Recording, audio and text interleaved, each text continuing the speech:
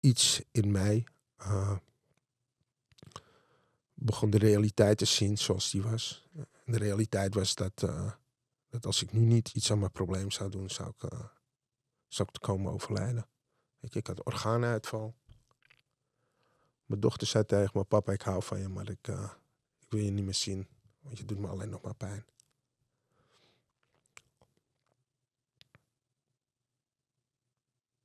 Dat was voor mij echt het moment dat ik, uh, dat ik de schep uit mijn handen heb gegooid. Want ik had zo vaak gezegd, dit is mijn bodem, ik, uh, ik, ik trek dit niet meer. Dit is de laatste keer.